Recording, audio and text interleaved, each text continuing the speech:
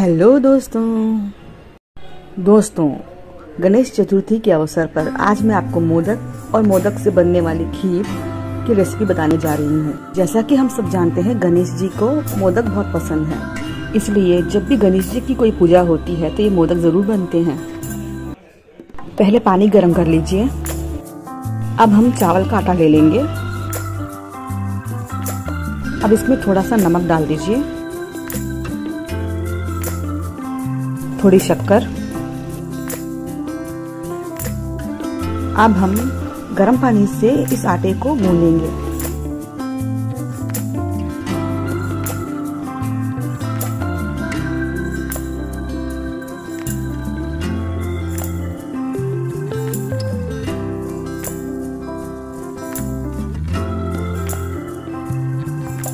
नारियल को दो तरह से कट करना है। ये देखिए। स्टफिंग के लिए पहले हम नारियल के पीसेस को ग्राइंड कर लेंगे।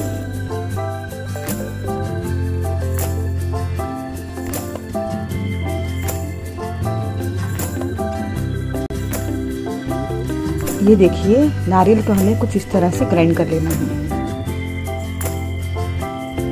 ये मोदक की स्टफिंग बनाते हैं।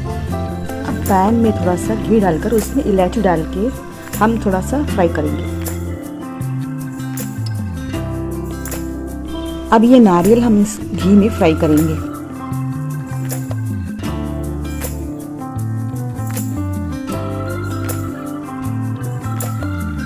ध्यान रखने की बात यह है कि ये जो भूरा है, ये ज़्यादा ब्राउन नहीं होना चाहिए, बस इसकी नमी चली जानी चाहिए। अब हम थोड़ा गुड़ ले लेंगे। आप शक्कर भी ले सकते हैं। अब हम ये गुड़ इसके अंदर डाल देंगे।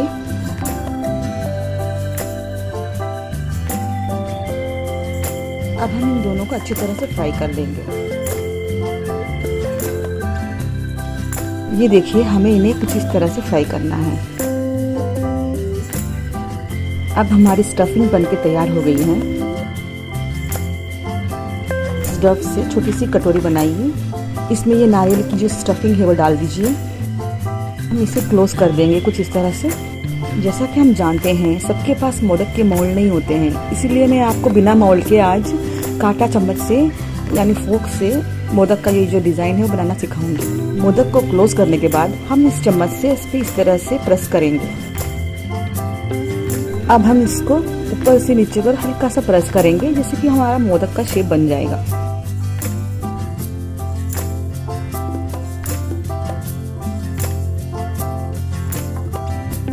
जैसा कि हम इडली को भाप में पकाते हैं, हम इन्हें भी ऐसे ही भाप में पकाएँगे। देखिए दोस्तों, हमारे मोदक बनके तैयार हो गए हैं। ये बहुत ही स्वादिष्ट और हेल्दी भी होते हैं। अब हम इन मोदकों की खीर बनाएँगे। पहले पानी गर्म कर लीजिए। ये देखिए, हमारा पानी गर्म हो चुका है। अब ये नारियल के कटे हुए पीसेस हम इसमें डाल देंगे।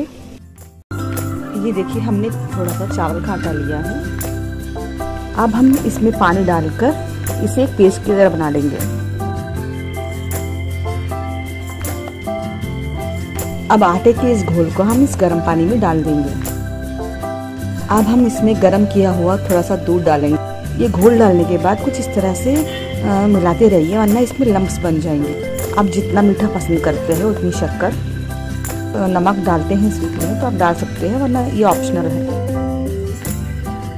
दोस्तों मैंने इसमें शक्कर डाला है। अगर आप गुड़ डालना चाहते हैं तो डाल सकते हैं। ये देखिए, ये बन गई है। अब इसमें हम मोदक डाल देंगे। हमें इन मोदकों को ज़्यादा देर इसमें नहीं पकाना है, क्योंकि ऑलरेडी पक चुके हैं। बस पाँच मिनट के लिए इन्हें इसमें पका लीजिए। जब तक कि इस घोल में इस तरह के बुलबुले ना आ जाए, इसे पका देंगे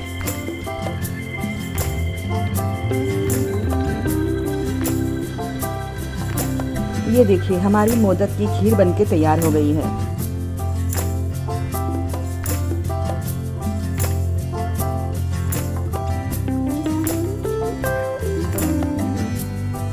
ये देखिए हमारे मोदक और उसकी खीर दोनों बन गए हैं। आप सबको हमारी ओर से गणेश चतुर्थी की हार्दिक शुभकामनाएँ।